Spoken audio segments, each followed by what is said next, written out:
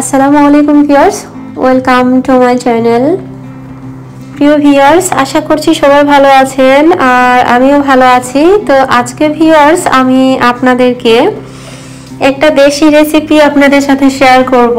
খুবই মজার রেসিপি আমাদের সিলেটিদের কাছে এটা তো খুবই ফেভারিট একটা রেসিপি তো এটা আসলে আমার মায়ের হাতের একটা রেসিপি আর মা রান্না করতেন। তো এখানে আসার পরে সিমের বিচি সে গত পরশু দিন সিমের বিচি পেয়েছে, তো তিন প্যাকেট সিমের বিচি এনেছে ফ্রোজেন বিচি। তো এটা পেয়ে তো আমি খুবই খুশি। তো এটা আসলে আমার কাছে বড় মাছ দিয়ে দেশে থাকতে আমার শাশুড়ি দেখতাম বেশি রান্না করতেন। যে বড় মাছ, ঘাগট, তারপর হচ্ছে যেটা বোয়াল মাছ, তারপর হচ্ছে এগুলো দিয়ে রান্না করতেন। তো মানে সেটা খেতেও ভালো লাগতো।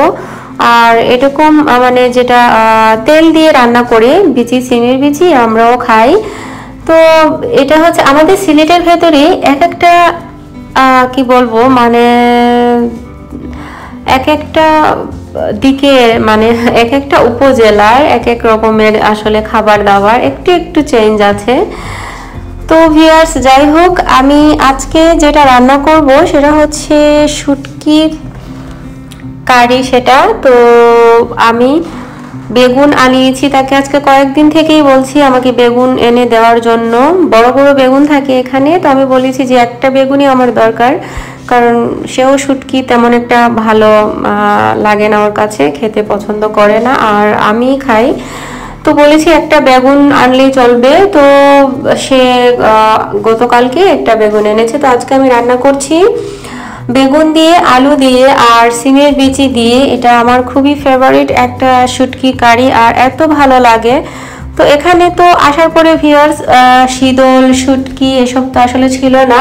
তারপর সে আমি, আমরা যে সিটিতে থাকি, ওখানে তো এসব বাঙালি খাবার দাবার একেবারেই কম একেবারেই কম। বাঙালিরাও একদম কম। আমরা কয়েকটা পরিবার আছি, শুধুমাত্র একেবারেই কম। তিন চারটা ফ্যামিলি হবে এখানে আমরা আছি। তো পেরিসে আবার সব ধরনের সব কিছুই পাওয়া যায়। আমি বারবারই বলছি, অন্যান্য ব্লগেও বলেছি। তো যাই হোক, সে প্যারিসে গিয়েছিল। আমার কিছু বাংলাদেশ থেকে যে আমি কার্গো করেছিলাম কাপড়, তো সেগুলো এসেছিল, তো ওগুলো আনার জন্য গিয়েছিল। তো তখন সে তাকে আমি বলেছি যে মানে যেভাবেই হোক তুমি যেটাই পাও শুটকি, এটা মানে নিয়ে এসো। তো সে লটিয়ে শুটকি এনেছে, আর যেটা ওই যে শীতল, ওটা পেয়েছে। তো ওগুলো এনেছে, প্রায় সাত, আট প্যাকেটের মতো হবে, ছোট ছোট প্যাক এগুলো তো এই এনেছে। তো শীতল দিয়ে আসলে কোনো কিছু রান্না করে খায় নাই, কারণ শুটকি তরকারিটা রান্না করতে ঝামেলা হয়। এই আর কি। তো লুটিয়া শুটকিটাকে শুধুমাত্র প্রায় সময় আমি আলু দিয়ে একটু ভুনা করে লুটিয়া শুটকিটা খেয়ে থাকি। তো আজকে ভিউয়ার্স আমি এটা সিমের বিচিও আছে ঘরে আর বেগুন, আমাদের পাশেই একটা সুপার শপ আছে। তো ওখানে সবজি পাওয়া যায় বলতে বাঁধাকপি, ফুলকপি, বেগুন টেগুন এসব পাওয়া যায়। তো বেগুন বলেছি ওকে আনার জন্য, আর আলু ছিল। তো আমার আম্মা যেটা রান্না করতেন বেগুন দিয়ে, এটা আমাদের দেশে যে ছোট ছোট একটা আলু বের হয়, লাল থাকে, খুব টাইট থাকে আলুটা, সাদা থাকে, লালও থাকে, ছোট ছোট আলু। তো এই আলুটা দিয়ে আর বেগুন দিয়ে রান্না করতেন। তো আমার কাছে তো এখানে আর এই আলু নেই। তো আমি বড় আলু যেটা, ওটাকে এভাবে কেটে নিয়েছি। একটু বড় বড় করে কেটে নিয়েছি, কারণ আলুগুলো এখানে একেবারেই নরম, গলে যায় খুব তাড়াতাড়ি। আর বেগুনটাও তো একেবারেই নরম। চুলায় বসালে এটা গলে যায়। তো একটু বড় করে, মোটা করে কেটে নিয়েছি। আর সিমের বীজে সামান্য একটু নিয়েছি। তো আমি সব কিছুকে ধুয়ে ভালো করে ভিওর্স এই হাঁড়িটাতে নিয়ে নিয়েছি, সিমের বিচি, বেগুন, আলু। আর এখন আমি যেটা দিয়ে দিচ্ছি সামান্য একটু, এখানে দেড় টেবিল চামচ পেঁয়াজ বাটা, দেড় টেবিল চামচ রসুন বাটা, আর হচ্ছে এক চা চামচ হলুদের গুঁড়ো, আর এক চা চামচ হচ্ছে ধনিয়া গুঁড়ো। এই হচ্ছে মানে শুটকি কারির যে মশলাগুলো ইনগ্রেডিয়েন্ট আর এক চা চামচ লাল মরিচের গুঁড়া। তো কাঁচা মরিচ ইউজ করব, তারপর মুম্বাই মরিচ ইউজ করব। তো এই জন্য লাল মরিচের গুঁড়োটা একেবারেই কমিয়ে দিয়েছি। তো এখন ভিউয়ার্স আমি শীতলটাকে খুব ভালোভাবে ধুয়ে এটাকে এভাবে উপরে দিয়ে দিলাম। এটা আমার মা এভাবে মানে দিয়ে রান্না করে থাকেন। তো আমি দেশে একটু ডিফারেন্টভাবে রান্না করতাম। আমি শীতলটাকে একটু অন্য হাঁড়িতে জাল করে জাস্ট শীতলের যে পানিটা থাকতো, জাল করা পানি সেটা আমি মানে দিয়ে দিতাম। তাহলে আর কাটাটার কোনো ভয় থাকতো না আর কি। তো আমাদের জন্য কোনো সমস্যা হয় না বাট আমার শাশুড়ির সবসময় কাটা লেগে যায়। তো যাই হোক, আমি এখানে এসে আর মানে আমার কাছে এরকম হাড়ি নেই। সবগুলো ভালো ভালো মানে হাড়িগুলো।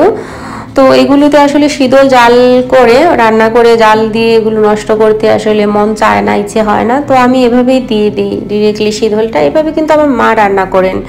আর তারপর একটু মানে উনি চামচ দিয়ে বা কোনো যে স্পাচালা আছে, ওগুলো দিয়ে একটু আস্তে আস্তে করে যে মাঝখানের যে বড় কাঁটাটা, সেটা শুধু উনি ফেলে দেন।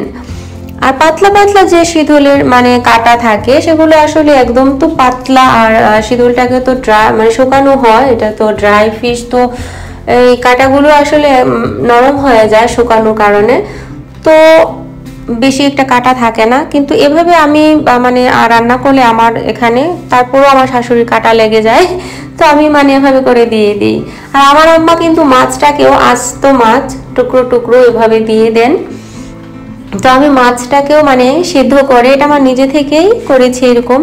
আমি মাছটাকে সিদ্ধ করে এভাবে কাটা বেছে তারপর মানে শুটকির মধ্যে দিয়ে দিতাম। তো মানে এটা এটা একমাত্রই মানে করতাম আমার মানে শাশুড়ির জন্য এভাবে, কিন্তু আমরা আসলে এভাবে খাই না। ডিরেক্টলি মাছ দিয়ে দিতাম মানে মাছ দিয়ে দেন আম্মু। মাছের টুকরো মানে আস্তে করে পরে মানে উপরে আলতোভাবে এটা উপরে দিয়ে দিতেন, যাতে ভাঙে না এরকম আর কি। তো যাই হোক ভিয়ার্স আর এখানে আমি কিছু কাঁচামরিচ নিয়েছি। তো এবার আমি কাঁচামরিচগুলো দিয়ে দিচ্ছি। আর ধনিয়া পাতা কুচি। তো ছুটকি কারিতে একটু ধনিয়া পাতাটা বেশি করে দিলে ভালো লাগে খেতে। তো একটু ধনিয়া পাতাটা একটু বেশি করে দিয়েছি। আর এখন আমি সামান্য একটু পানি দিয়ে দিচ্ছি। দিয়ে এটাকে একটু সময় জাল করব। এটা খুবই তাড়াতাড়ি হয়ে যায়। পাঁচ সাত মিনিটের ভেতরে মানে তরকারিটা রান্না হয়ে যায়। কারণ বেগুন, আলু মাছটাও সিদ্ধ করা, তো এখানে মানে আসলে জাল করার মতো কিছু না। আর বেশিক্ষণ ধরে এটাকে জাল করলেও কিন্তু একেবারে বেগুন, আলু এসব তো নরম জিনিস ভেঙে একেবারে ভর্তা হয়ে যায়। প্রথম জালেই, প্রথম রান্নাতেই। তো ভিয়ার্স আমি ঢাকনা দিয়ে ঢেকে সামান্য একটু সময় এটাকে জাল করব। ফিরে এলাম প্রায় তিন মিনিট পর হবে। তো, তিন মিনিটের মতো এটাকে আমি একদম চুলার হাই হিটে এটাকে জাল করেছি। একদম টকবক করে এটা, জাল হয়েছে। আর তরকারিটা এই যে দেখুন ভিউয়ার্স মানে হয়েই গিয়েছে। তো এখন আমি একটু যে মুম্বাই মরিচ, সেগুলো একটু জাস্ট ফ্লেভারের জন্য উপরে দিচ্ছি। এটা এই দেশি মরিচ, তেমন ঝাল বলতে ঝাল নেই বলতেই চলে। তো জাস্ট একটু স্মেলের জন্য দিয়েছি উপরে। তো এই যে ভিউয়ার্স দেখেন খুবই ফেভারিট একটা কারি আমার কাছে। তো আশা করছি আপনাদের কাছেও ভালো লাগবে। আর আপনারা একদিন ট্রাই করে অবশ্যই দেখবেন যে আমাদের সিলেটিদের কাছে তো এটা অবশ্যই আমি হান্ড্রেডে হান্ড্রেড পারসেন্ট গ্যারান্টি করে বলতে পারব, অবশ্যই ভালো লাগবে। তো ভিয়ার্স আশা করছি আপনারা ট্রাই করবেন। তাহলে আজ এ পর্যন্তই। সবাই ভালো থাকুন। অন্য কোনো নতুন ব্লগ বা রেসিপি নিয়ে আবারও দেখা হবে। আল্লাহ হাফেজ।